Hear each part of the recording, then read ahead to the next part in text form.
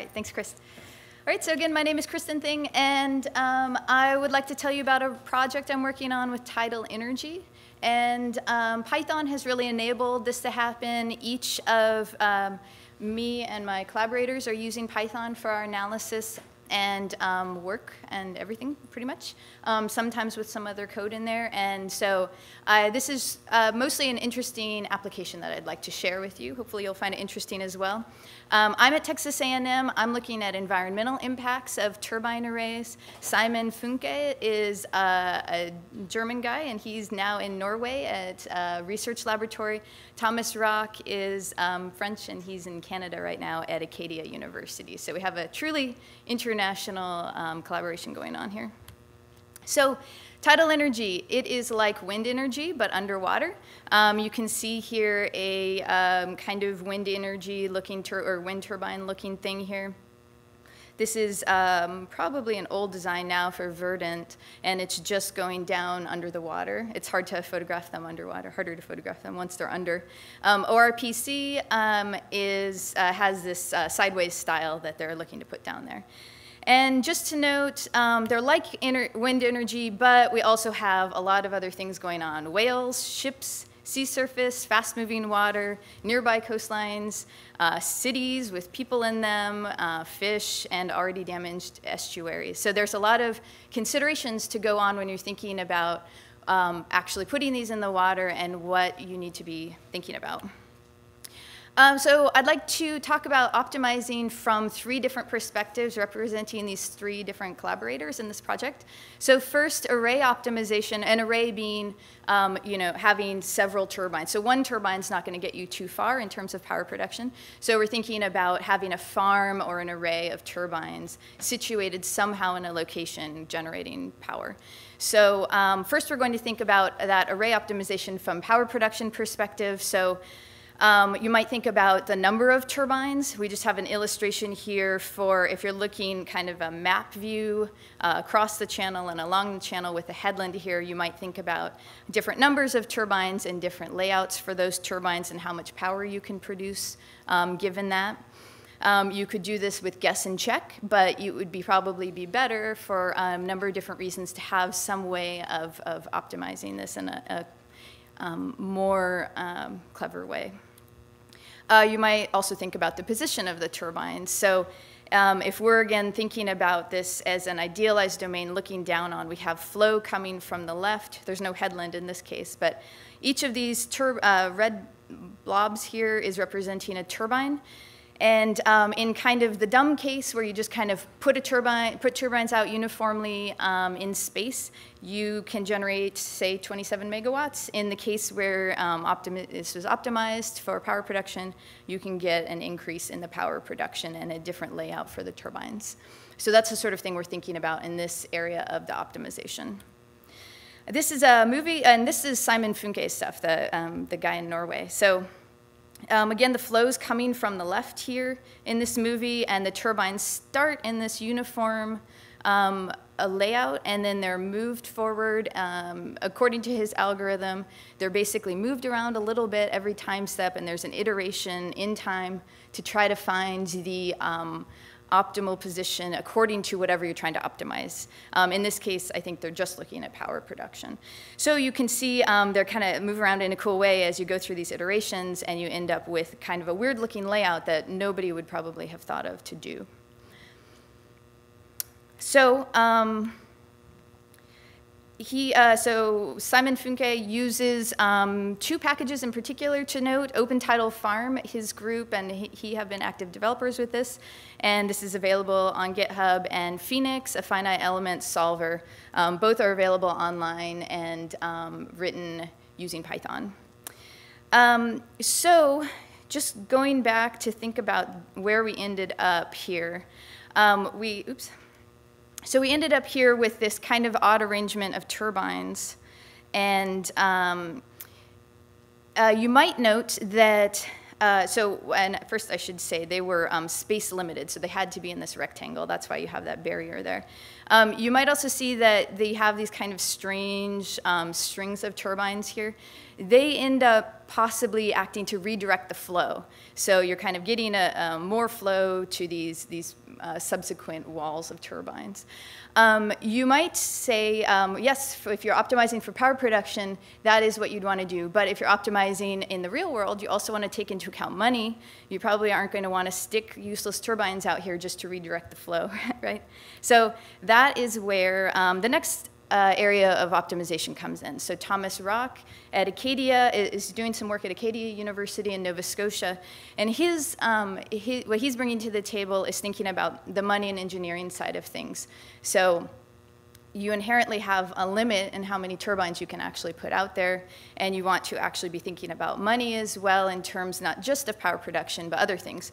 Cable cost, cable length, number of turbines, uh, transmission efficiency, installation costs, maintenance, co maintenance costs, how long your project will last, and um, cost reduction due to learning. For example, there are lots of things to think about. Uh, this, this plot is just showing, um, say you might have a whole bunch of different parameters that you're considering in this optimization, and a way he's approaching figuring out where to focus effort for this optimization is looking at the sensitivity of the results to these different parameters. So you see whatever the thing represented by the secret code is right here has an uh, strong importance. So if you change it a lot, the results are very sensitive to that. But some of these things you can probably change and they're not going to matter that much. You can kind of figure out where to focus your efforts. Uh, what I'm bringing to the table is thinking about environmental impact from the, your turbine um, array. So um, to start thinking about this, you can't get something for nothing, right? So if you're generating electricity by uh, moving turbines around from water moving, you are going to be slowing down the water. You're going to be impacting it somehow. So um, how much of the slowing it down is okay? Um, does it matter where it slows down? Is it, um, how do you measure that best? And what other properties are affected?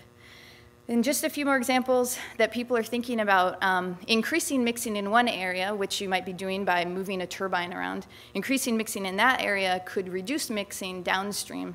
And sometimes downstream is an area that's already considered fairly stagnant, or maybe you have some hypoxia issues where you have low oxygen, and there are concerns about um, impact because of that. You might also be thinking about increasing blockage in a channel, which can increase the sea surface height upstream. Um, and in a particularly interesting case, the Bay of Fundy, um, which is the place that has the really tall, the really big tides, 10 meter tides, something, 14 meter tides like that.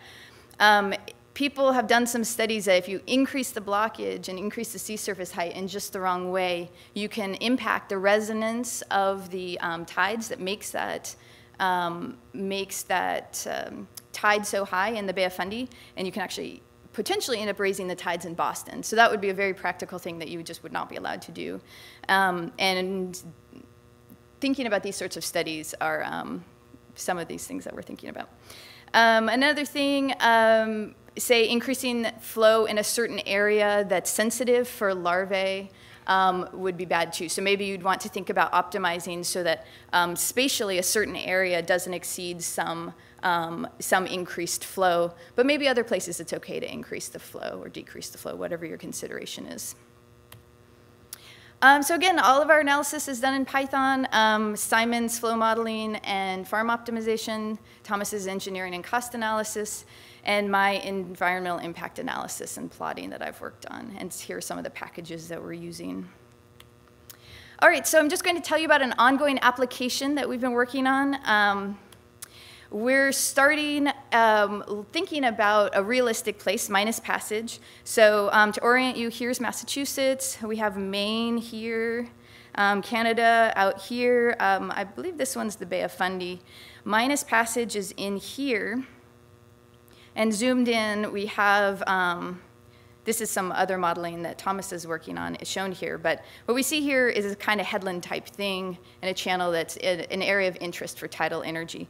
So what we're doing is um, we're thinking about this in the back of our heads, but we're stepping back to an idealized model. So we're just going to model a headland out of this. So this kind of thinking about this headland here in the back of our minds. Our goals um, with our work are, uh, and probably anybody's work thinking about this stuff, maximizing power production, minimizing cost, therefore maximizing profit, um, minimizing environmental impacts, because ultimately um, that is going to matter. I mean, presumably um, uh, permitting and other issues are going to come into play. So um, minimizing environmental impacts is also going to probably maximize your profit and being able to stay in business in the long run. And just to note that uh, the turbines can be represented in different ways. I showed you a sort of individual-based type of model where each little blob was a turbine.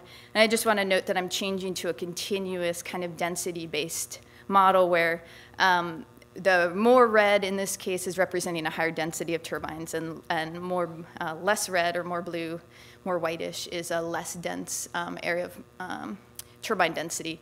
And I won't go into the details, but that's kind of um, from the algorithm side why you would choose which to do.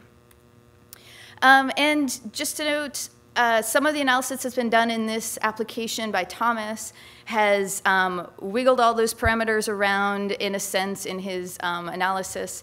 And he's, uh, in this plot, um, lumped them together into different categories. So what you can see is O&M or operation and maintenance is um, very important in terms of this, the sector importance to um, the outcome. Um, but something like uh, turbine cost isn't as important. And this is sort of analysis that Thomas is thinking about. So let me show you the actual simulations. Um, this again is our idealized headland. We're looking down from a map view, and um, here's our headland in white. The flow is um, tidally forced, going back and forth, um, left to right in your view. And um, so here we have our tide, and um, what you're seeing is whiter is uh, faster speed, and darker is lower speed, and there are arrows indicating the magnitude and direction overlaid. So the flow goes back and forth. The headland acts to um, uh, increase the flow in this area. And um, presumably, if you're thinking about uh, some, putting some tidal turbines in here, you'd want to think about putting them in this area. But you wouldn't necessarily know the layout that you should use. And it depends on um, what, your, what your considerations are, what your priorities are. So um, stepping forward then, here, up here we have the base case. Um, eh, okay. Okay. Um, at the top we have the base case that uh, I just showed on the previous um, slide, and below it I have two of the subsequent cases that we've looked at. So in one, we, um, what I've called the non-optimized, um, Simon basically put a blob of this uh, density of turbines, equally valued blob, in a rectangle just off the headland there. And in the lower case, he, uh, he optimized it using some of these measures of um, Thomas's to think about a better layout to look at. So I've just plotted the contour there at the bottom, um, the contours, but you can see they're there are several different levels of kind of density of turbines that end up coming out of that optimization. And if you kind of look um, one to one, you can see that in the top case, you have just that regular flow going back and forth. And in the bottom two, um, sure enough, where the turbines are, you have a reduction in the speed. And you, um, you also downstream, you have a reduction um, as well. So um, these are some of these impacts that we might be thinking about how we can mitigate or what, what we might care about even in those. And uh, just to summarize that uh, change in speed, I've um, means, so here I've basically done a difference in the mean speed, the spatial um, mean over time, but left in space here. So um, this non-optimized case compared to the base case with no turbines um, reduces the speed in this um, kind of large swath here, and the optimized case um, has a smaller reduction.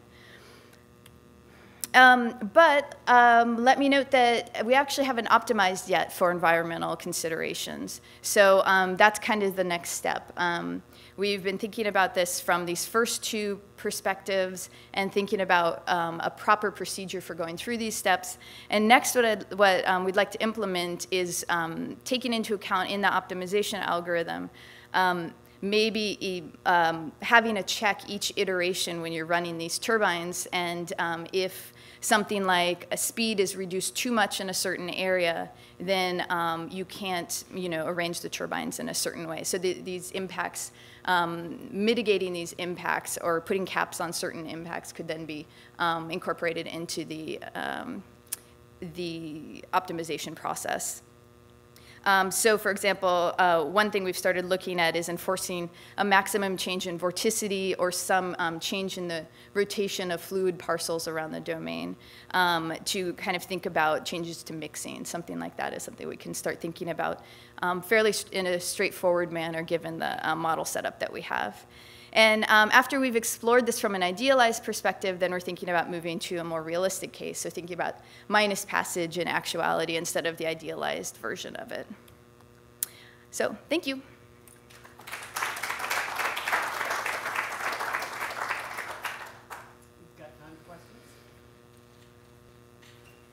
Yes. I know that the, the physics is somewhat different, but it, it, it appears to me that the methodologies you're building very easily applied to wind power as well.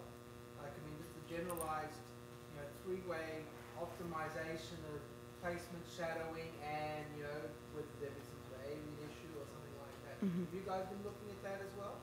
Well, uh, so the question is about um, the applicability of this to wind energy. And really, it would be the other way around. Wind, in, wind energy is, I think, 20 years ahead, I think they say, of tidal energy maybe it's even 30, 20 or 30 years ahead. So if anything, um, a lot of times tidal energy people look to wind energy. And um, uh, there's a lot of applicability.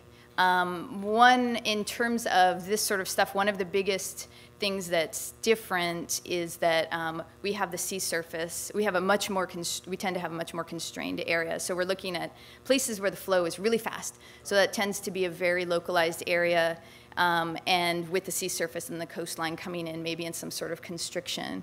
And um, in terms of getting the power to people who want to use it, we're also thinking about this in terms of cities nearby,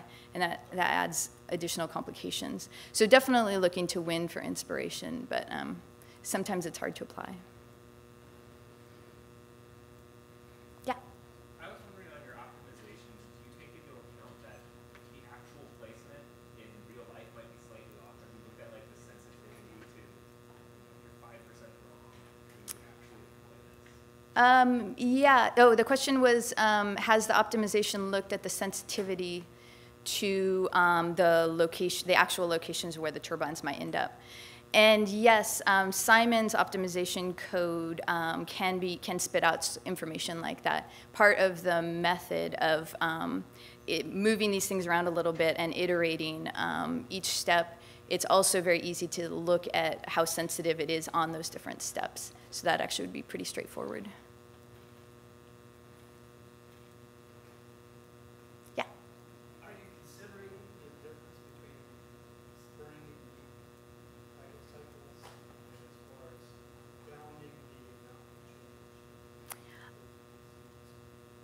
Um, okay, so the question is uh, thinking about uh, the spring and neap tidal cycle and bounding changes. Um, yeah, that, that would be important for the realistic case. So for this um, idealized case, we're just using an M2 tide, so a single tidal constituent, the, the main tidal constituent. So that's why you can see that the tide is very straightforward. Just a, um, for stepping to something like Minas Passage, then we would use realistic tides and um, everything gets much more complicated then, but um, that would be incorporated in using more realistic tides. Yeah.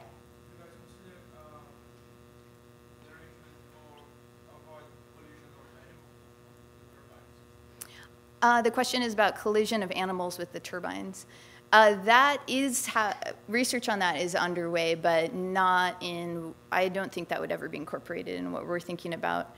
Um, but just to give you a feel, some, um, for example, the Pacific Northwest National Lab in Seattle has look, is looking at um, fish studies, kind of how fish interact with turbines.